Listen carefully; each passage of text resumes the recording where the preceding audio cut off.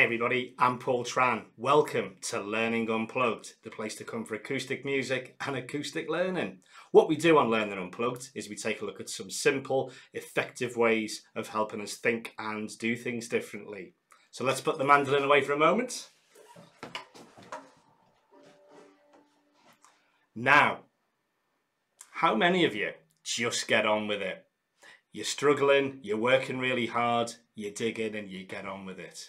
How good would it be if you could label all that get on with itness and be able to work through every situation with your own personal resilience? What we're going to look at today are seven steps with which we can get some resilience and use it really well to get through whatever situation we're in. Step one is to get yourself a sense of control. And that means working out what we can and what we can't control and working out the limitations on our control so that we know exactly what we can affect and how we can affect it. Step two is to see change as an opportunity. It's an opportunity to learn, to grow, to experience, maybe even to succeed. It's always an opportunity, so treat it as such. The third step to resilience is to make sure you've got a strong social network. Not just your friends or your close colleagues, the people who you don't know that well yet who could really help you in a time of need. The quicker you can get their help, the quicker you'll be able to sort out whatever problems you have. Step four is optimism.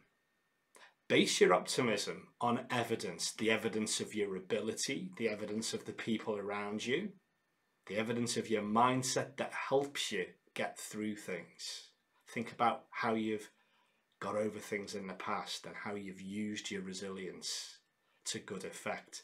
That's what you base your optimism on. So your first thought is, how am I going to do it rather than whether I'm going to do it? The next step is patience.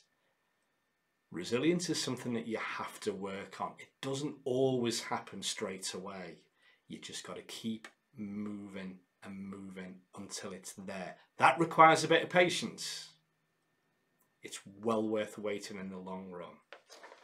The sixth step is a little bit of adaptability so much is changing these days. It's really important to be able to handle a little bit of ambiguity and to know that whatever happens, we'll be able to deal with it. Think about past times when your adaptability has really helped you and then tap into that when you need to. And the seventh step is humour. A little bit of appropriate, well placed humour is great for us reduces our cortisol, it raises the endorphins within us. When we have a laugh with people, we release a nice bit of oxytocin that just gets us closer together. And it's a great way of enhancing your resilience as much as possible. So there you have it, seven steps to resilience. What I'd love you to do is to pick one or two of them to pay real close attention to in the next few weeks and see how you get on with them. And once you've really got into those two, pick two more. Pay attention to those. Remember, we are what we pay attention to.